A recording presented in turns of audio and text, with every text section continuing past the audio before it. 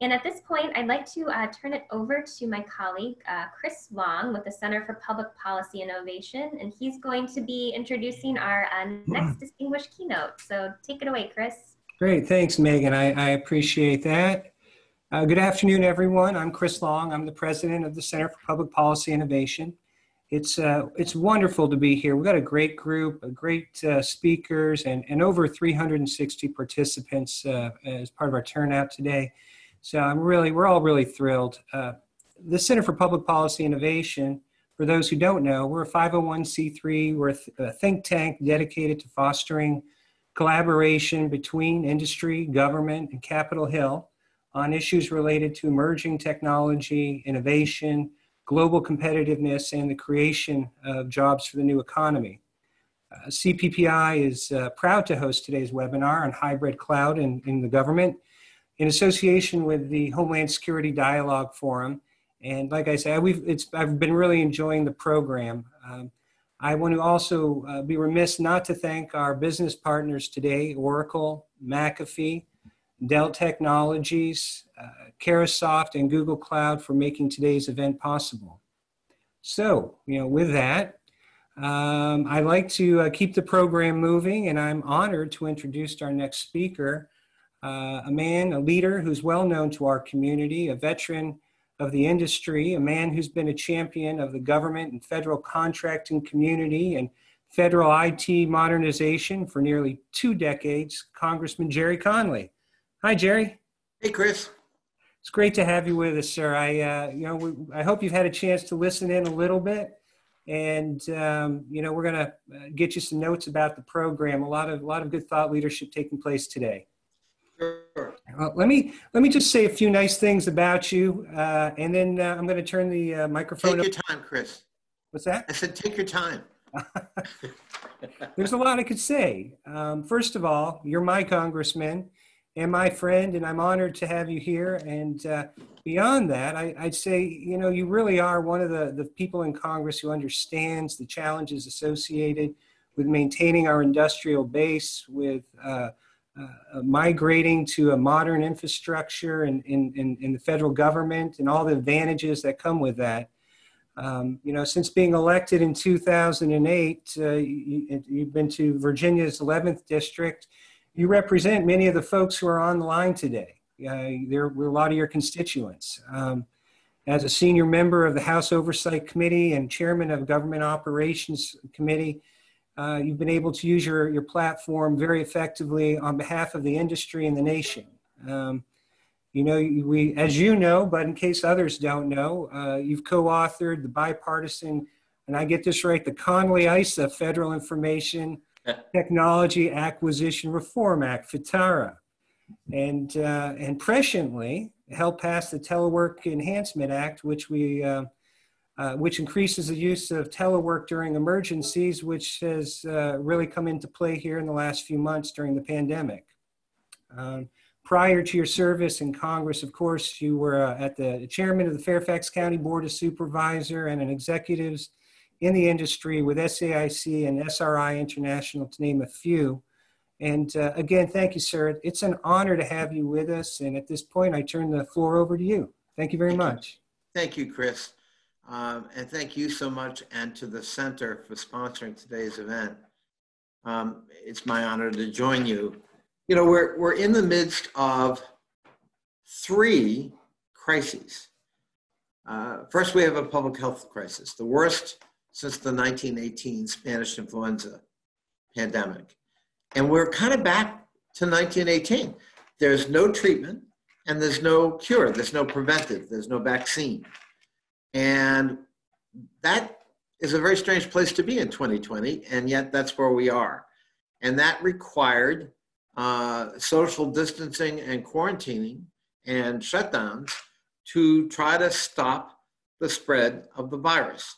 That worked, but when you reopen, especially if you reopen without a lot of guidelines and care, uh, the virus is right there waiting, waiting to pounce back. And we're seeing that in uh, well over a dozen states in the United States, some states that were not very careful about reopening uh, and were kind of uh, you know, braggadocio about reopening, like Texas and Florida, are now seeing the highest daily rates of infection they've ever experienced. Uh, and that's very alarming. Those are two very big states. And the same is true for Arkansas and Alabama and South Carolina. Uh, and, uh, you know, we're very worried about returning to where we were after having flattened the curve and lowered the mortality uh, rate in the United States. So let's hope that doesn't happen. But uh, from an epidemiological point of view, it's almost certain to happen, uh, at least in, in those states that haven't taken precautions. Um, and, uh, you know, at least 2 million Americans plus have been infected officially. We know that unofficially, lots of people weren't diagnosed for lack of testing. Um, and, uh, and at least 116,000 Americans have died. Uh, probably that number is higher also because there are a lot of excess deaths reported during this time period. Uh, the lion's share almost certainly are attributable to COVID-19, but they weren't diagnosed. Uh, we have found huge weaknesses during this pandemic, um, and I'll return to one of them, the IT systems, uh, and how important they are and how badly we did. But our supply chain was uh, broken. Uh, we are overly reliant on China and some other countries, a handful of them, for critical supplies and drugs. And when the pandemic started in China, China got real careful about exporting PPE, personal protective equipment, and drugs. and as a result, we found ourselves short. Um, we were worried about surge capacity at hospitals. We were very short of PPE, personal protective equipment, which put medical workers, nurses, and doctors and technicians at risk and indeed, many of them, of course, contracted the virus because they didn't have enough protection. Um, we, uh, we also saw weaknesses in the national stockpile, which was not sufficiently equipped. Uh, and there was no real national coordination. So literally localities and states were bidding against each other to try to get the equipment the federal government didn't have or wouldn't give. And when the federal government through FEMA did distribute this equipment, it did it in a very haphazard way. Um, you know, for example, my state of Virginia initially only got 7% of its first re big request, while Mississippi was getting 120%. So there was no rhyme or reason. There, were no, there was no prioritization of, for hotspots and hospitals that were really stretching in terms of capacity. And then, of course, there was the testing fiasco. So WHO developed a test that worked and it offered that test to us. And we said, no, we wanted an American test. Um, in fact, Dr. Birx stood by the president and proudly said, we want a made in America test. We're not going to use the WHO test that works. So we lost a month in developing our own test. And when we did develop it and distributed some of it, not a lot of it, uh, it didn't work. It failed. And so we lost another month trying to fix it. So we lost two full months while the virus spread without testing. So we didn't really have an accurate picture of where is it? Are there hotspots? Can we isolate? Can we take protective measures? And the virus continued uh, its relentless pace and lives were lost. Um, it is estimated that we could have saved maybe upwards of 80% of those who in fact died if we'd acted sooner. That's a terrifying and really troubling statistic. So on every level, we failed. We were not prepared. Um, CDC did not cover itself in glory. FDA sometimes made some decisions that were not particularly scientific, one of which was uh, on an emergency basis approving hydroxychloroquine as a possible uh, treatment. Well, they've now pulled that approval and announced that it's not efficacious and in fact could be harmful. The reason they gave it emergency approval, of course, was because the president personally said, I think this might work. You ought to try it. What have you got to lose? Well, you could lose your life, apparently, because if you have any underlying cardiovascular condition, it can actually aggravate that to the point of heart attacks that are fatal. Uh, other than that, yes, you've got nothing to lose. Um, one of the, uh, then of course we have the economic collapse. And, you know, I don't think we fully appreciate because we're still partially shut down what this means. The GDP is going to contract in double digits. It's going to be the biggest contraction since 1929. Unemployment, uh, first time unemployment claims hit 40, a cumulative amount of 44 million people, far more than occurred uh, in the Depression. And of course, that the Depression stretched out over 11 years. This is an unemployment uh, spike in less than 10 weeks. We've never seen anything like it. And uh, we've seen at least 50,000 small businesses go under, gone. We've seen some large retail brands gone. Uh, and that's probably just the beginning of a very painful process we're going to go through in trying to reopen safely. And of course, uh, small businesses particularly hard hit. Uh, a lot of mom and pop, you know, stores, restaurants, small law firms, uh, and other retail outlets uh, that are, you know, don't have a national brand, aren't necessarily part of a national franchise, really at risk. You know, they have low capital, uh, they have low liquidity, uh, they kind of operate month to month. Uh, they're usually one month behind, in fact, in their operating cost because they don't have a reserve, a cash reserve.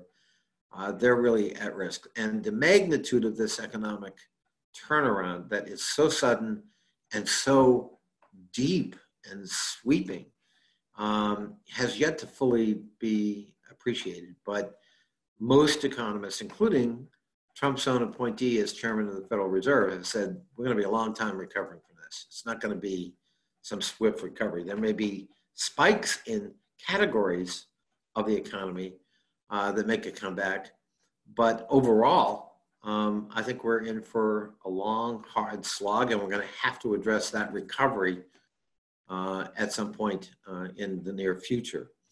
Uh, and then, of course, we have the third crisis, which is about racial justice the brutal murder of George Floyd with a cop that put his knee on his neck for almost nine minutes, even though he said he couldn't breathe.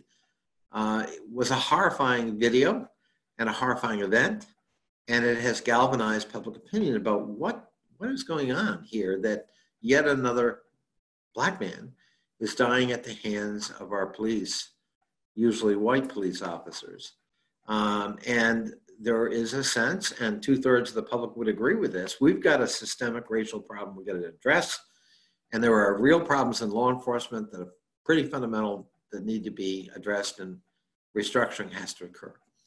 Um, so we've never kind of faced this, you know, triad of crises and challenges.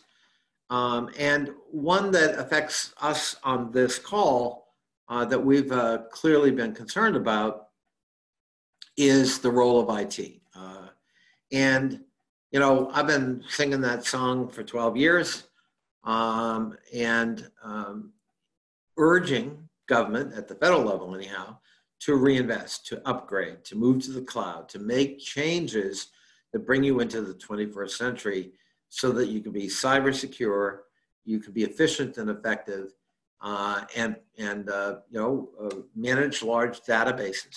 So by not doing that in some cases, we have seen how integral and necessary those changes are and, the, and IT is to the mission and the objective. Examples. Um, the Small Business Administration.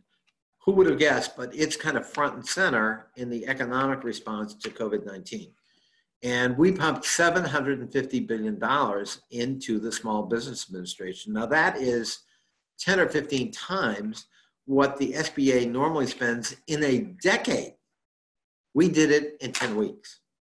And it simply, its IT system known as ETRANS simply couldn't handle it. It crashed many, many times, which frustrated people from applying. It made it hard to sort of spread the loan portfolio to new financial institutions, new for SBA, so that we were kind of getting it down to Main Street to the small businesses that really needed it and were the intended beneficiaries. Um, lots of people didn't hear back their application was denied, uh, you know, falsely, uh, because they weren't able to reprogram the new criteria that were much more expansive and much more liberal uh, uh, to try to pump money into the economy and save small businesses. Um, and it was early on a mess. The IRS, uh, we also provided direct payments to every American and every dependent child. And um, when it was direct deposit, IRS was able to do that because it, has got that down pretty solidly, right? So for those Americans who have direct deposit, you know, our IRS has a, a pretty good system for, you know, tax refunds getting into your account um, or, and or other payments. But uh, that's only about 70 million people. So everybody else is getting a paper check or debit card. And IRS's IT system can't handle that volume. So the most it can handle now is 5 million of those a week, which means that they're going to have to stretch out these direct payments that were intended to inject capital and cash into the economy immediately to try to stabilize it. Instead, uh, the last payment will be made sometime in September. That was not the game plan. Uh, and that's entirely because of IRS's inability, because of IT lack of investment, to handle this volume and this demand. Uh, unemployment insurance, uh, you know, at the federal level, we made a lot of changes. Uh, you know, we added a $600 payment to the weekly unemployment benefit. We extended unemployment benefits by 13 weeks, and we changed eligibility to uh, not allow gig workers, sole proprietors, self-employed uh, to qualify for the first time. And again, uh, unemployment this time is managed by the 50 states. So there are 50 different IT systems, uh, at least a dozen of which still use COBOL. Think about that. So they, they had trouble programming the changes and they had they were overwhelmed with demand. They could not handle the demand. And so there are a lot of people who went eight or 10 weeks without receiving that first unemployment check if they got through the system at all in terms of eligibility. Um, and that's unconscionable because again, you know, if you're unemployed and you don't have savings, that unemployment check may be the difference between staying in your home or not, putting food on the table, making sure the kids are okay. I mean, this is really quite fundamental. And, um, you know, uh, the system simply broke down because they hadn't made the investments in IT. And finally, uh, also at the federal level, but other, other places as well, telework. As you cited, Chris, uh, you know, I've been a champion and an evangelist for telework, you know, for a long time, even before I got to Congress. And the key about telework is it provides us with a, a core capability to do to have continuity of operations in the event we can't physically go to work. Well, right now we can't physically go to work. And the federal government completely failed in that regard as well. There was almost no guidance from OPM, the Office of Personnel Management. Uh, literally, it was up to individual managers throughout the federal government to kind of make a spot call on their own and hope for the best that they're not penalized or dinged on for making the wrong decision. So some managers said, without guidance, you got to come to work. And by the way, that also meant contractors had to go to work because they're under contract to serve the federal client. And if the federal client's working, we're working. Uh, and it created enormous confusion. Other managers said, work from home. And, you know, I'm not going to put it in writing, but, you know, I don't want anyone being unsafe. And there was enormous confusion. And by the way, that confusion continues because when OPM was asked to issue guidance about reopening, if you read that memo, it, it I, I, I challenge you to figure out what are they saying. It again, it sounds like they're saying, use your own judgment. Well, you know, in the federal system, uh, that puts you as a manager at risk because, in fact, it asks you to bear the entire risk and to make the entire judgment. That's not leadership. That's not how the federal um, you know, system ought to work. and it's abrogating responsibility. So um, we have a we have a long way to go in uh, reaching our goals. I think it underscores why FITARA or Connolly Issa, as you say, Chris, um, is necessary, as are other pieces of legislation to modernize, to streamline, like FedRAMP, like the MGT. Now, in the HEROES Act we passed, I might point out, we uh, bumped up funding for MGT uh, to, to uh, have a capital fund to catalyze agencies to retire legacy systems and invest in new ones uh, from the $25 million appropriation in this current fiscal year to a billion dollars. In the previous bill, we actually had three billion, but the Senate wouldn't go along with it. Uh, but it's essential that we we have that kind of capital fund so that we can really kind of incentivize. Uh, and if we do it at the federal level, we have a fighting chance to try to persuade states after this terrible experience that they need to do the same, especially in key systems like the unemployment system. So I, I think it's kind of exposed real vulnerabilities in supply chains, in distribution procedures, uh, in our IT systems, in our workplace rules and, uh, and safety measures uh, that will have to be examined very carefully when we start to reopen fully and we look at recovery. The rules of the road have to change. Thank you. Thank you very much, Congressman. That was that was terrific. I'm glad you got to uh, address the uh, MGT and the Tech Modernization Fund and FedRAMP a little bit. I think those are key issues. And uh, I know we would, uh, we hope to continue our collaboration together. And if there are things that we can do, ways that we can help bring the industry along to support uh, efforts that you, you're, you'd like to lead, we're, we're there for you. Yep. Thank you. Thank you. Great. Wonderful. Well, Congressman, you're welcome to stay on. Uh, we have one another panel discussion uh, coming up. Somebody, Chris, can I just can I, can I just give one paid uh, yeah, announcement? Sure. You said that I have a lot of constituents on this call, and that's wonderful. For those constituents, I want to remind them I've got an election in six days. I hope they will vote. If they haven't already gotten a mail ballot, and uh, which, by the way, is another change. I think we're in our future after this.